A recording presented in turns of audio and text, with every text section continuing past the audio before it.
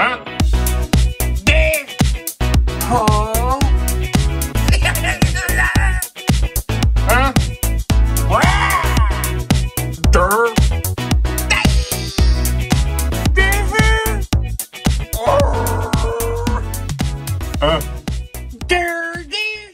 Hey now, and welcome down to KC Toy Reviews.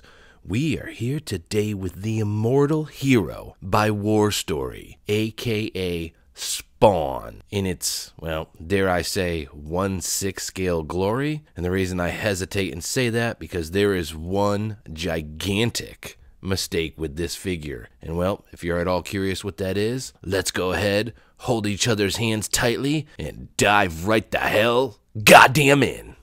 All right, so let's go ahead and start this review out like this. And you might be asking, well, why the hell do we have Spider Man in shot? And that answer might be very obvious to some of you, and well, because Spider Man is a 1 6 scale figure, and War Story is classifying this spawn also as a 1 6 scale figure. And forgive me for not remembering the uh, maker, but recently we had the Underground King, aka Kingpin, and that, similar to this spawn, was a massive flop as far as scale. And I'm going to go out on a limb and say this is from the same company because the packaging was very, very similar. And in recent memory, there are not a lot of companies that are botching the scale as much as these guys are. And again, my God, as he's standing next to Spider Man, it is incredibly disappointing to see how big this figure is. I am a massive Spawn fan, and the fact that we had a chance to get a 1 6 scale figure was, in my opinion, sheer luck. And the fact that this is what we ended up getting is, well, I hate to say it, rather disappointing. Now, with all that said, there are some incredibly fantastic detailed points to this figure almost to the point where my jaw dropped a couple times where I said, wow, that is awesome. However, hammering on that same point, the moment I put Spider Man and other 1 6 scale figures next to this guy, I was just like, man, what the hell are they smoking over there at War Story? Because either A,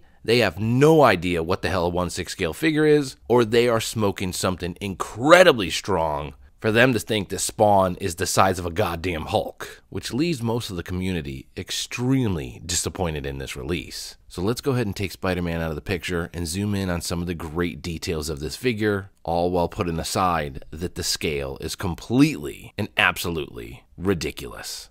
Now, if you already haven't bailed because of the atrocity of the scale of this figure, well, it's time to admire some actually pretty fantastic details. For starters, all the little bullets that you can see on his chest here are actually die cast bullets. You can take out each individual piece. Um, they're pretty great detail on these things. They're die cast. You can actually see the little chambers and stuff on the back there. And the fact that they went to the length of including each individual bullet that you can put into his chest like this and the bandolier is really, really great touch. And I guess next up we have it in shot. As you can hear, the chains, the same thing. These are real chains, so you have some weight to these things. Everything that you can see around him here. Now, as we zoom into the ridiculously oversized crotch area, we actually have a metal die-cast buckle on there, which is pretty fantastic quality. Now, as far as the belt itself, there's actually a little leather-ish pieces here that connect to this metal piece, and then you have these 3D printed pouches. However, they are nicely painted and very nicely detailed. And then the contrast of the nicely painted pouches with the leather belt and the metal buckle all pulls together well and looks like great quality. And then the pouches on the leg here, you can actually move them up and down. So the fact that this is a movable piece was pretty nice in my opinion versus something that's just imprinted there on the leg. And it does hold firmly and it does feel like it has a tight grip around that leg. Now, as we make our way down to the feet, in my opinion, this was probably going to sound ridiculously cheesy, but I always thought this boot, this side, this larger one, was always freaking awesome. Something about the wider bottom, the thicker side, the contrast to the two legs. I really always thought that this was an iconic piece to spawn. And I truly mean it. When I took this thing out of the box, my jaw dropped for a second because it does have some fantastic shelf presence to it. The paint application is great, it has some weight. The contrast between the suit material itself and the legs pulls itself together well. But the overall look and feel of it was nice and there was not much to complain about. Now, if anything, the only complaint that you're going to have is terrible articulation. None, if anything, on this side. And then as far as this side down here, this is a split right here, so you can articulate this foot a little bit. However, the one positive that I would note is because there's no stand included, this foot acts as a nice weight now, as far as the suit itself, I mean, it's nothing to necessarily rave about. However, it's also nothing to complain about too much. Um, if we bend it there at the arm, you can see it kind of crunches up a little bit. It's a plasticky, you know, stretchy material suit. And as you can see, there's almost this double layered process of a smooth top layered on top of a textured bottom. However, the overall presence is really, really nice. And you have this kind of latex ish, almost rubbery white piece that goes down the chest there. And again, overall, I mean, not too many complaints. I think they really did a good job with the suit. The spiked wrist pieces are the same thing. Nice texture to them, good paint application, good weight. It only came with two pairs of hands, so we have kind of a fisted one and this kind of clawed one that you can see in the other shots there. Now, before we move on to the accessories, the true star of this show is the cape itself. Now, I'm going to go out on a limb and say this is one of the best capes I have ever seen on a one six scale figure. And of course, we're saying it like that because they absolutely destroyed the scale of this thing. Had this been appropriately scaled, this would have been the best cape we've ever seen on a figure ever. And I truly mean this. We have wires that are going down every single which way of this cape that let you bend and articulate this thing to ridiculous levels. And as far as the size, it is absolutely, truly massive. Now, from this glance, I do need to note that we have a beautiful, leatherish, textured black and red look to this cape. And quality wise, it looks like this thing's gonna hold up. On the other side, it just has a nice cloth feel to it. I am truly blown away by the quality of this cape. And if we are to take scale out of this thing, we are looking at the best cape you've ever seen on a 1 6 scale figure. Now, as far as accessories go, what you see is what you get. We have this fantastic sword, great paint application to it. You can just remove the tip here, slide that in his hand versus kind of bending his hand out of place and getting it in there. So, nice way to get that in his hand there. And as we can see, just a nice textured look, great paint application. The eyes are pretty cool on this thing, and the scale, well, similar to the guy, is ridiculous. Now, interestingly enough, the gun was in my opinion, ridiculously scaled as well. Um, before we get into that, as we can see, similar, really nice paint application on this thing. Uh, we have kind of cracks, marks, and scuffs all around there. Um, not too much complaint on the way it looks, but check this out. I mean, it's basically the size of Spider-Man. Look at the size of this gun. It's ridiculous how big this gun is. Even in Spawn's hand, it looked ridiculous. So, um, cool that we have this, but I don't know. It looks outrageous, the size of this thing. And then lastly, we have this extra chain here. Um, I have no idea what the hell this thing's for, but you do have an extra tiny little chain to do what the hell you want with it. And of course, taking a look at the headpiece, well, I'll be honest, this is probably the second most disappointing piece of the figure overall, next to the absolutely absurd, disgusting proportion of this thing. And why, might you ask? Well, there's not a whole lot of detail in the headpiece. On top of that, the paint application is slightly mismatched from the black suit.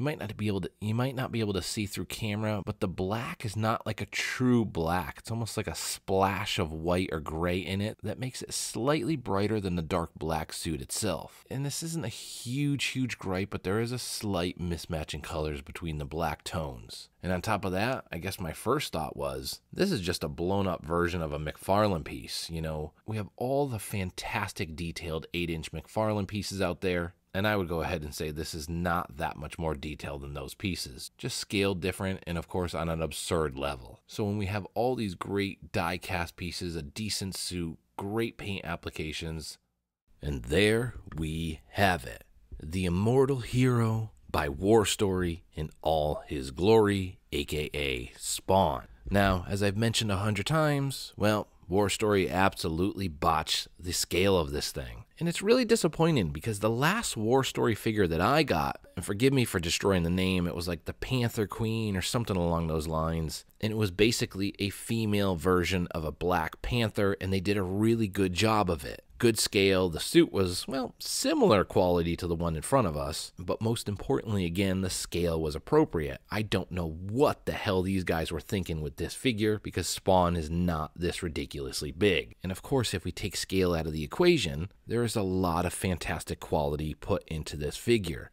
especially that cape. I am going to drive it in again.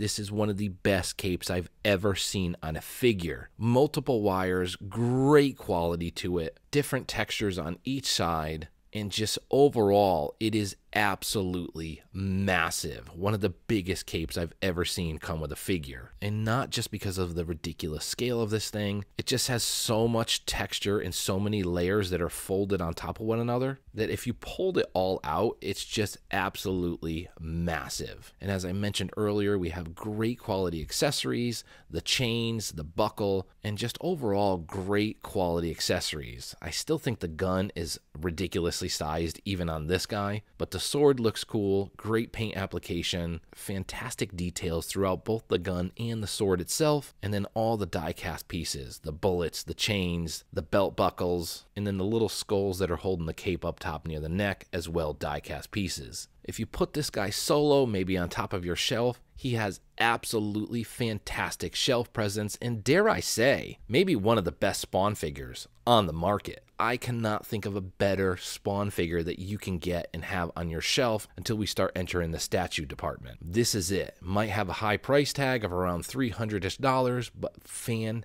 fantastic quality, fantastic shelf presence. And then the last thing I would probably note well, articulation is pretty piss poor. The elbows seem single jointed, the legs seem double jointed, but it is something to note. The body underneath feels a little bit jangy and loose in some pieces. So, as we start to round this out, I mean, as far as a score on this guy, and that's a difficult one because of the destruction on the scale of this guy. Well, we have to take that into the equation, which is going to severely lower this thing. And well, I hate to say it, it's a 5.3 out of 10. I mean, the scale is so absurd that I need to really take that into the equation because as we are suggesting things to people, especially if you are new into the 1 6 scale market, there is absolutely no way I could suggest this thing because it is not 1 6 scale. However, with all that said, take that out of the equation, if you don't care about the scale of this guy, I mean, I very rarely do this, but it could be more of an 8.2 out of 10.